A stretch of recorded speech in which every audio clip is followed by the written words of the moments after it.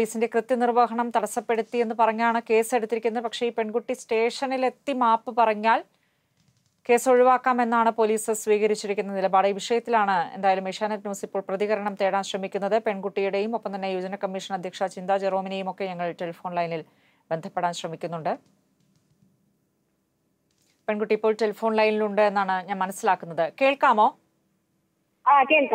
എന്താണ് ഏത് സാഹചര്യത്തിലാണ് ബാങ്കിന് മുന്നിൽ എന്താണ് സംഭവിച്ചത്? എങ്ങനെയാണ് അവിടെ ഇടപെടേണ്ട ഒരു സാഹചര്യം ഉണ്ടായത്? ഒന്ന് വിശദമാക്കാമോ? ആ ഞാൻ എ ടി എമ്മിൽ ക്യാഷ് എടുക്കാൻ പോയിട്ടുണ്ടായിരുന്നു. ഈ എ ടി എമ്മിന്റെ തൊട്ടിപ്പുറത്തായിരുന്നു ഇന്ത്യൻ ബാങ്ക്. അവിടെ ഒരുപാട് ജനങ്ങളുണ്ടായിരുന്നു. എ ടി എമ്മിന് ക്യാഷ് എടുക്കാൻ ഞാൻ മാത്രമേ ഉണ്ടായിരുന്നുള്ളൂ.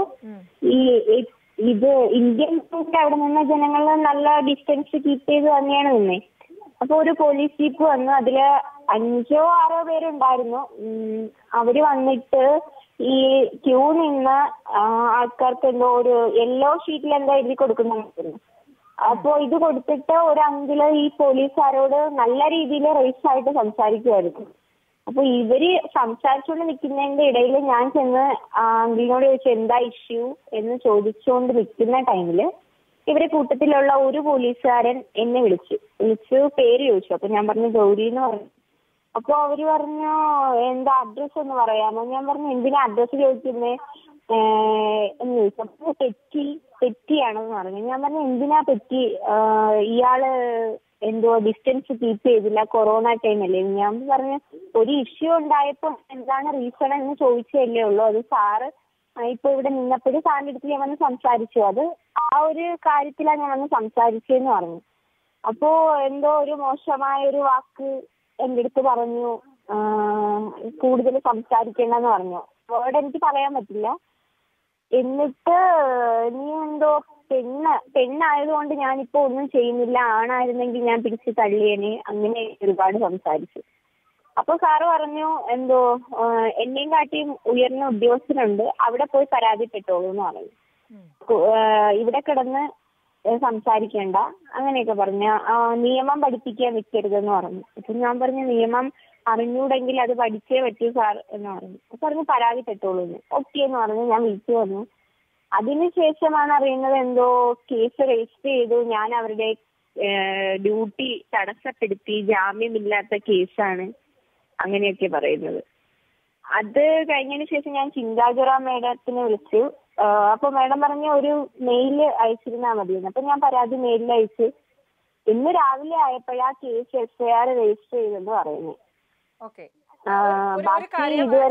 നമുക്കൊപ്പം ടെലിഫോൺ. ലൈനിലുണ്ട് ചിന്തയോട് നമുക്ക് ചോദിക്കാം. അതിനു മുമ്പ് ഞാൻ ഒരു ഒരു കാര്യം വ്യക്തതയ്ക്ക് വേണ്ടി ചോദിച്ചോട്ടെ. ഇപ്പോൾ പോലീസിന്റെ ഡ്യൂട്ടി കൃത്യനിർവഹണം തടസ്സപ്പെടുത്തി എന്ന് പറഞ്ഞാണോ കേസ് എടുത്തിരിക്കുന്നത്?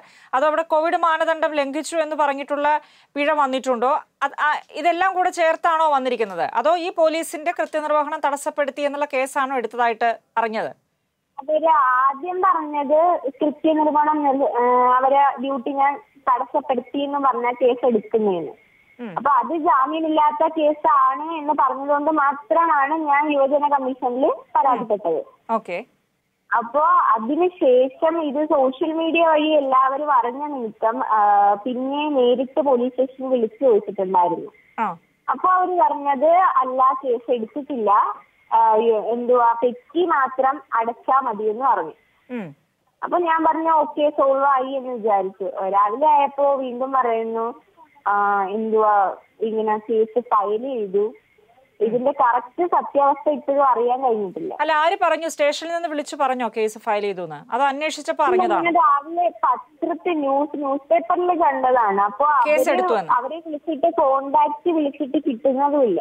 ശരി. ഈ സ്റ്റേഷനിലെത്തി മാപ്പ് പറയണം അല്ലെങ്കിൽ മാപ്പ് പറഞ്ഞ കേസ് ഒഴിവാക്കാം. അങ്ങനെ എന്തെങ്കിലും സംസാരം പോലീസ് ഉദ്യോഗസ്ഥരുടെ ആരുടെയെങ്കിലും ഭാഗത്തുനിന്ന് ഉണ്ടായോ? ഇല്ല അങ്ങനെ ഉണ്ടായില്ല. ഈ സോഷ്യൽ മീഡിയ അറിഞ്ഞ വഴി എന്നെ ഒരുപാട് പേര് വിളിച്ചിട്ട് പറഞ്ഞു മാപ്പ് പറഞ്ഞ തീരാവുന്ന ഇഷ്യേ ഉള്ളൂ എന്ന് പറഞ്ഞു. അപ്പൊ ഞാൻ പറഞ്ഞു എന്നോടാണ് അപമര്യാദയായിട്ട് പെരുമാറിയത്. അല്ല ഒരു മാപ്പ് പറയില്ല എന്ന് പറഞ്ഞു. അതായത് സോഷ്യൽ മീഡിയ മറ്റുള്ളവരാണ് അല്ല പോലീസ് അല്ല പറഞ്ഞത് മാപ്പ് പറയണമെന്നല്ലേ പോലീസ് പോലീസ് എന്നെ ഇതുവരെ കോണ്ടാക്ട് പോലും ചെയ്തിട്ടില്ല. ഇത്ര ഇഷ്യൂ ഉണ്ടായിട്ട് പോലും കോണ്ടാക്ട് ചെയ്തിട്ടില്ല. ഞാൻ അങ്ങോട്ട് വിളിച്ചിട്ട് കിട്ടുന്നതുമില്ല എടുക്കുന്നതുമില്ല. അപ്പൊ സ്റ്റേഷനിലെത്തി മാപ്പ് പറഞ്ഞാൽ തീരാവുന്ന പ്രശ്നം എന്നുള്ളത് പുറത്തുനിന്ന് കിട്ടിയ ഉപദേശമാണ് താങ്കൾക്ക് അല്ലേ? അതെ അതെ അതെ അതെ.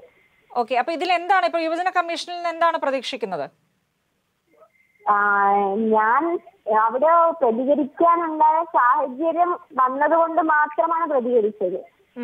അപ്പോൾ ഒരു പ്രതികരിച്ചതിന് എന്ത് റിമാൻഡ് ജാമ്യമില്ലാ കേസ് ഇതൊക്കെ എന്ത് ന്യായമാണ്?